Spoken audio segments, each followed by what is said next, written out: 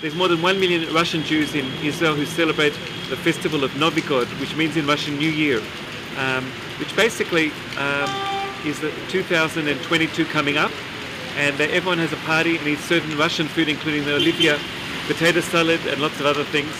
And so we're here with the Russian community celebrating Novigod. We're starting with the soups. We've got the Georgian pastry khachapuri coming in a few minutes. And we're in the middle of Jerusalem uh, experiencing the real exciting culinary Jerusalem.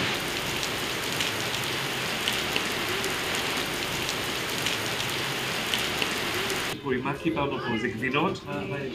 אה, וכפי שאני מכיר אותם, אה, הם אה, אוהבי חיים ו- ויודעים לאכול טוב.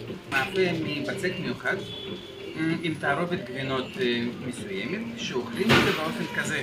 מערבבים את החלמונים, שאמורים להיות ממש נעים עם תערובת הגבינות, תולשים את הלחם שמסביב ומנגבים ממש כמו שאנחנו מנגבים חומוס.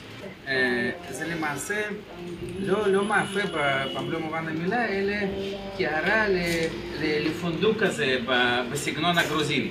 I'm going to open it now and start it. צריכים לחתוך ככה או ביד? איך אוכלים? זה, זה לא משנה.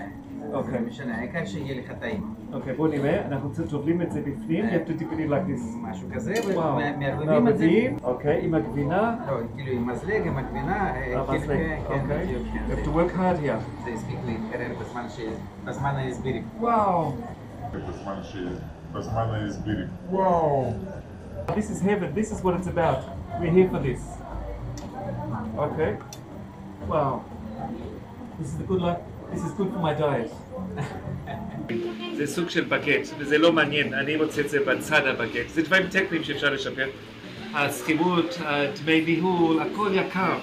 אז לפי דעתי אתה צריך אולי לתת הנחה יותר קטנה, עשרה אחוז, ואתה צריך להעלות את המחירים, כי לא, לא המטרה לקבל אלפי לקוחות, זה מטרה זה להרוויח יותר כסף. זה דעתי, המחירים שלך 50 אחוז מהמחיר של אחרים.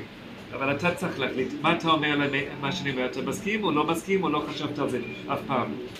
אה, לבנות את הטאבון הזה הייתה אה, אחת החוויות הראשונות שלי כאן במקום הזה. זאת אומרת שהבנתי שאני לא מצליח למצוא טאבון שאני הייתי רוצה למצוא ל- למאפים שלי, והבנתי שאני רוצה לבנות אותו בעצמי. הטאבון נבנה מ-800 לבנים, שכל אחד אה, הייתי צריך להתאים אותה בגודל ולחתוך אותה בזווית מסוימת כדי שביחד כל הלבנים הללו ייצרו ספירה וגם אה, יצרו אה, ערובה ש, אה, שמאפשרת לעשן לא להיכנס אל תוך החנות אלא לצאת אה, החוצה בלי שהיא מקררת את החנות, הערובה הזאת. בניתי את זה ונהניתי מכל רגע תוך כדי אה, עבודה למרות שזה לקח לי חודש לבנות אותו. אבל זה היה מעניין. אני בכל זאת אוהב אותך ורוצה להגיד לכולם לבוא ואתה איש מקסים, שיהיה בהצלחה. תודה רבה.